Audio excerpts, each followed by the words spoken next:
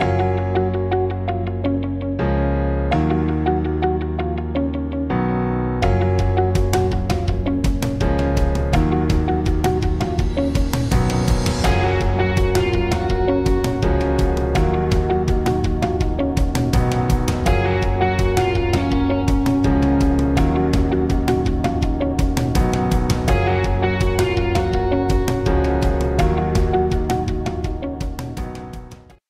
Everyone and welcome back to the channel. A good while ago I addressed the topic of cats hiding and how to get a cat to come out and join the party. The various ways to capture a cat's attention and get them to follow your lead. In today's video I'll cover the topic of fear, stress, anxiety, because getting a cat to come to you is one thing. Getting them to come to you when some major external factor has sent them to a shelter spot well, that's quite another. And in some cases, you could just be dealing with a scared cat, as in a fearful cat in plain view, not hiding at all, just refusing to seek comfort.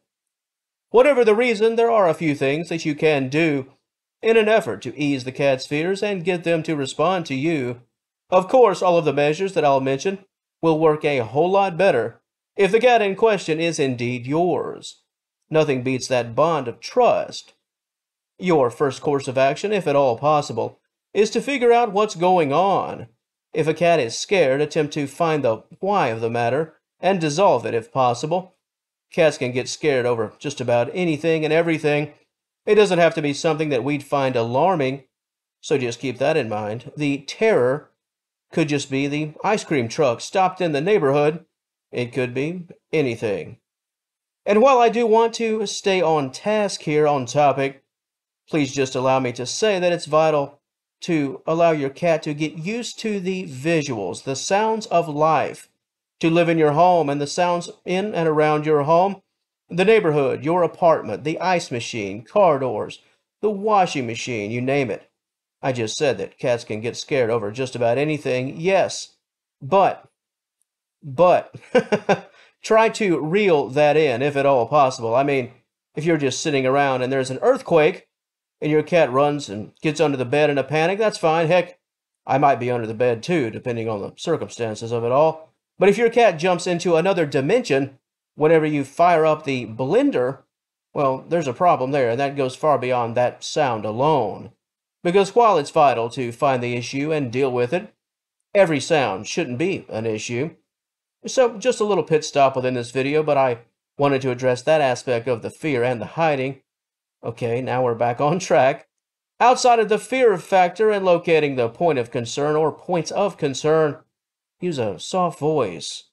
Don't take a firm approach. Lower your standing, even your physical standing if you have to. The goal here is to make yourself open and accepting. If the cat feels any sense of intimidation, your objective is to wash all of that away. Soft voice, soft motions, easy and relaxed posture, and snacks and toys. Items of comfort, being able to supply a cat with comforting things, well, that's awesome, especially in the face of the storm, right? It's very appealing. Cats are more likely to let their guard down just a bit. If a comforting voice, welcoming posture, and familiar items are being presented, in the end, this is all just a work in progress, right? Especially if we're talking about your cat and not just some cat that you saw down the street.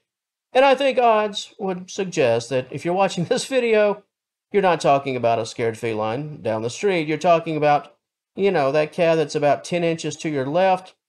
Hmm.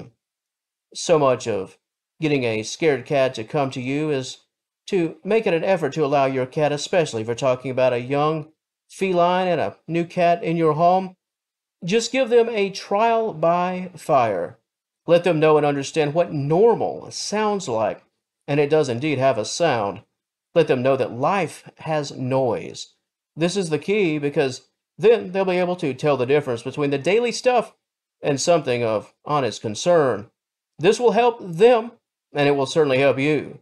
You'll spend less time using all of the tricks involved in this topic simply because your cat won't be running for the hills as soon as the loud sports guy yells, Touchdown! on the television. Now, keep those tips of advice in your back pocket, but that soft voice, the posture, the familiar things, all that's great, but Know that more than half of this battle does involve your cat being able to know the difference between the sounds of life and the sounds of trouble.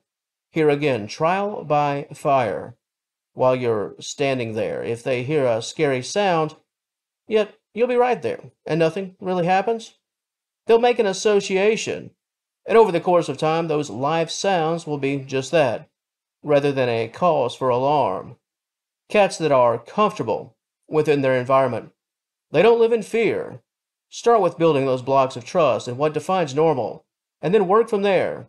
So much of getting a scared cat to come to you, well, it often starts with your ability to help them eliminate their very own fears.